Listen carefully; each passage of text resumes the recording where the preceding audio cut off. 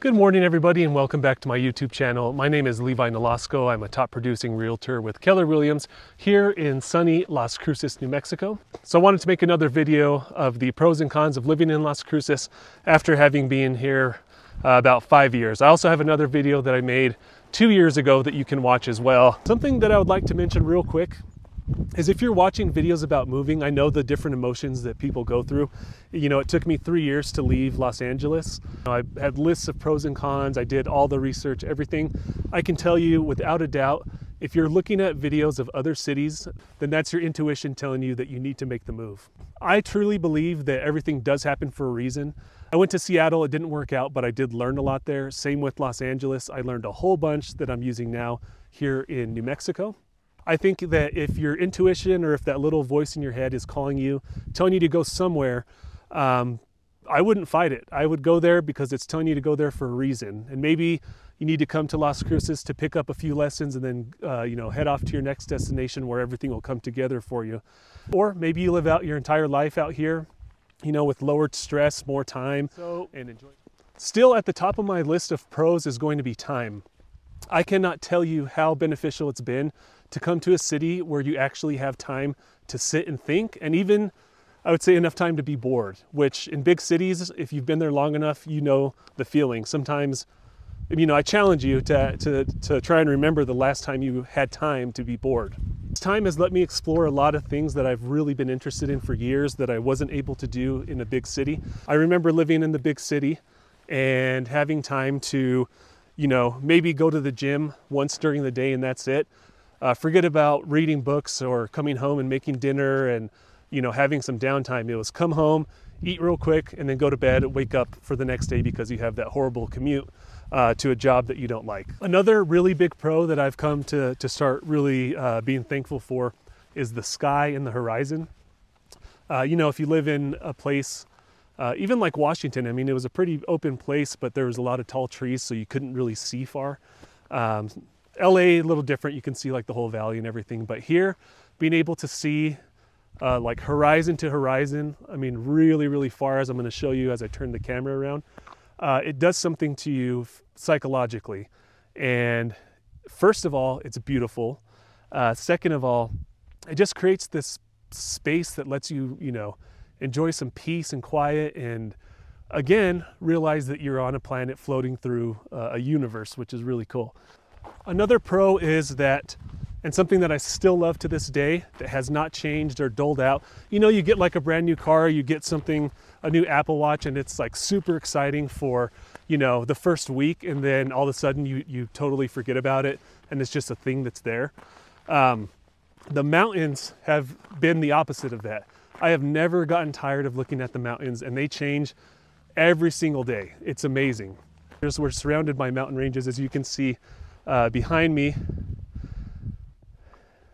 And it just makes for a really, really cool scene and perspective of the world that we live in.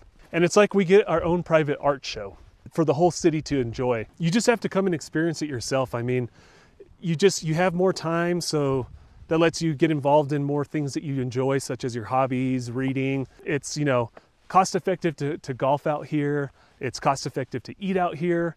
Um, it's just a, just an easier way of life still to this day. The cost of living is going up everywhere in uh, the United States, and Las Cruces is not exempt from that. Um, prices for locals have increased quite a bit, uh, but it's still, in my opinion, one of the most affordable cities and towns in the United States. Now, I know it might not be like that forever, but it is today, it was yesterday, and it'll be tomorrow. So I think, you know, there's still lots of opportunities out here to get a house that you can afford and start living the uh, dream life that you want. It's been my experience that getting the dream life has been easier out here, at least for my particular situation. Another pro is that I really love the ease of outdoor activities. Now I can work a full day or, and still go home, load up the four wheelers and get out to the trail and ride for a few hours. So my experience in big cities was I would have to wake up really early and plan, you know, on where we're going to go.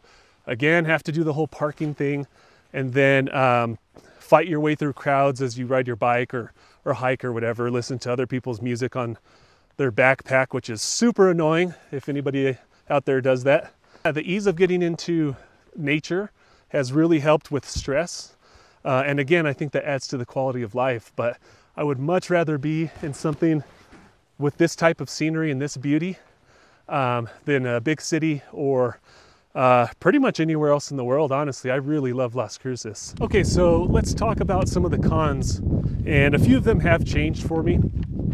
Um, I again, I really love Las Cruces, and I'm an optimist. I think so. Uh, it's hard for me to kind of dig on the city or point out things that I don't like. There are a few weeks throughout the year that make it difficult to get outside. My least favorite season is going to be spring, which we're coming up to, and that reason is because it's windy, it's cold, and it messes with your plans. I would say the closest thing we have to a natural disaster is our wind. And it's nothing to where, you know, it's gonna flip your car over or anything like that. Uh, it does get really dusty. It makes it to where let's say, you know, last week I was planning on going for a hike. The day came around and it was super windy and cold, so then I ended up having to stay home or just stay in. Now, I have to say, many other people are out riding their bikes, hiking, doing whatever they want whenever it's windy.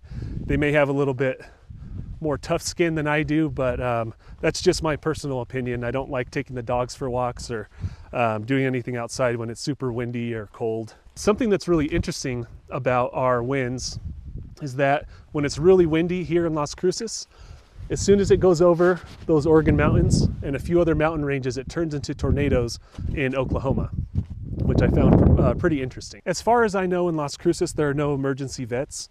Um, we had to take our dog Lenny to the emergency vet on uh, Christmas Eve of last year, 2021. And, you know, it took us 45 minutes to get there. Luckily, it wasn't a life threatening uh, thing that was happening to him. But uh, it was 45 minutes. We had to wait outside because of COVID. So our entire Christmas Eve, we stayed outside of the emergency vet in El Paso. So that would be awesome if we get an emergency vet here. There may already be one in the works. I, I just don't have my finger on it, but that's something to definitely consider. Another con is we still don't have a Korean barbecue place. So, hey, if you have the skills, uh, I'd love to team up and maybe we could open up one on our own. So once again, thank you so much for watching my videos and I'll see you on the next one.